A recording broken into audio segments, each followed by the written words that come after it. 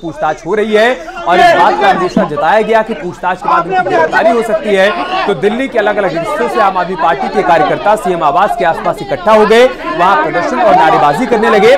लेकिन फ़िलहाल यहाँ पर कानून के पालन करवाने के क्रम में ही अब दिल्ली पुलिस ने आम आदमी पार्टी के इन तमाम कार्यकर्ताओं को बस में बिठाकर यहाँ से रवाना कर दिया है। और दूसरी तरफ़ अरविंद केजरीवाल को लेकर ईडी की टीम ईडी दफ्तर के लिए रवाना हो चुकी है। ये चार तस्वीरें इस वक्त आप देख रहे हैं। आज पहली तस्वीर जब सीएम केजरीवाल से पूछताछ के लिए ईडी की टीम पहुँचने वाली थी, दूसरी तस्वीर जहाँ पर आम आदमी के पार्टी के कार्यकर्ता विरोध प्रदर्शन कर रहे हैं, सड़क पर बैठे हुए हैं। तीसरी तस्वीर आरएएफ की तैनाती की दिखा रहे हैं और चौथी तस्वीर जब ईडी की टीम केजरीवाल को लेकर रवाना हो गई वो तस्वीर भी हम आपको दिखा रहे हैं। तो केजरीवाल गिरफ़्तार किए गए हैं। सिटिंग सीएम ये दूसरे हैं जिनकी गिरफ्तारी हुई है। मामले में शंकर गिरफ्तारी की औपचारिक तौर पे पुष्टि भी कर दिया जाए।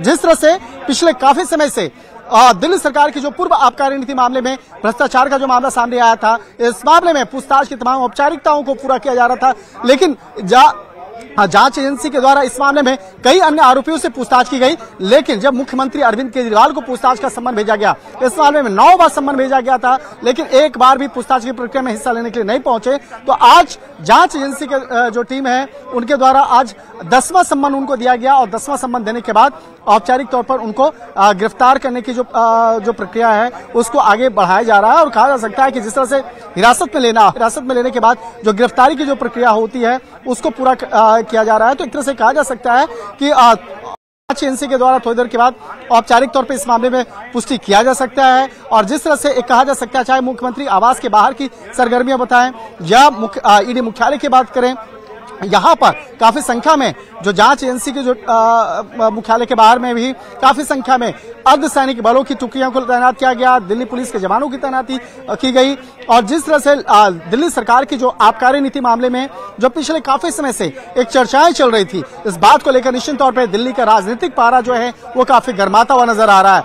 हालाँकि आज जो दिल्ली हाईकोर्ट में इस मामले पर अर्जी दाखिल की गई थी और दाखिल करने के बाद जिस तरह से मुख्यमंत्री अरविंद केजरीवाल चाहते थे कि उन्हें इस मामले में राहत मिले, लेकिन आज जिस तरह से दिल्ली हाईकोर्ट के द्वारा उनकी याचिका को खारिज किया गया तो उस वक्त से ही एक कयास लगाया जा रहा था कि हो सकता है मुख्यमंत्री अरविंद केजरीवाल की जो मुश्किलें बढ़ सकती हैं और यहाँ तक कि गिरफ्तारी की भी जो संभावना है, वो हो सकती है। तो एक तरह से कह सकते हैं कि तमाम अटकलों पर एक जो साक्ष्य जो है, वो सामने नज़र आता हुआ नज़र आ रहा है और हो सकता है कि थोड़ी देर के बाद मुख्यमंत्री अरविंद केजरीवाल को उनके आवाज़ से जाँच एजेंसी ईडी की टीम उनको ला करके ईडी मुख्यालय पे पहुँचेंगे और ईडी मुख्यालय पे लाने के बाद जो गिरफ्तारी की जो औपचारिकताएँ हैं, उसको पूरा किया जा सकता है। और कह सकते हैं कि एक तरह से जो पिछले कुछ दिनों से जो लगातार चर्चाएँ चल रही कि अगर मुख्यमंत्री की गिरफ्तारी होगी तो फिर क्या होगा? उसके अगर और जिस तरह से इस मामले में नौ सम्मन्स जो अब तक दिए गए थे, और नौ नौ सम्मन देने के बाद, जिस तरह से बकायदा एक लगातार एक कयास चल रहा था कि अब दसवां सम्मन कब भेजा जाएगा? तो आज देर शाम में तकरीबन सात बजे के लगभग में जाँच एजेंसी की टीम वहाँ पे पहुँची, लेकिन जाँच एजेंसी की टीम को अंदर प्रवेश करने की इजाज़त नहीं दी गई। उनको कहा गया कि तमाम आप आने की वजह बताएँ तो उसके बाद बताया गया कि वो पूछताछ के लिए सम्मन देना चाहते हैं। और सम्मन देने के लिए जब अंदर टीम गई, उसके बाद उनको बताया गया कि वो पूछताछ की प्रक्रिया में अगर वो हिस्सा लेते हैं तो अभी उनसे पूछताछ की जा सकती है। और हम ये भी बताते हैं कि एडिशनल डायरेक्टर स्तर के अधिकारी पूछताछ की प्रक्रिया को अंजाम दे रहे हैं। तो एक तरह से कह सकते हैं कि एडिशनल डायरेक्टर स्तर के अधिकारी सामान्य तौर पर पूछताछ की प्रक्रिया में नहीं पहुँचते हैं। जानकारी और भी आपसे लेना चाहेंगे कि इस वक्त मुख्यमंत्री के आवास तो हमारे सहयोगी शंकर आनंद जो बता रहे हैं कि पूछताछ अरविंद केजरीवाल के घर पर किस तरह से शुरू हुई? टीम पहुँची थी सम्मन देने के लिए फिर केजरीवाल से पूछा गया कि अगर आप अभी भी पूछताछ में हिस्सा ले सकते हैं तो हम अभी पूछताछ कर सकते हैं जिसके बाद पूछताछ की शुरुआत हुई और उसके बाद ईडी ने अपनी कस्टडी में केजरीवाल को ले लिया है। तो करप्शन के खिलाफ लड़ाई लड़ते लड़ते अरविंद केजरीवाल चर्चा इसका मतलब है धारा 144 लगी हुई है। धारा 144 जो है, वो ईडी मुख्यालय के बाहर में भी लगाया गया है और मुख्यमंत्री आवास के बाहर भी है। ये पोस्टर्स लगाए गए हैं। इस पोस्टर का मतलब साफ़ तौर पर है कि यहाँ पर धरना प्रदर्शन, जैसे यहाँ पर जो कार्रवाई है, वो यहाँ पर नहीं की जा सकती है।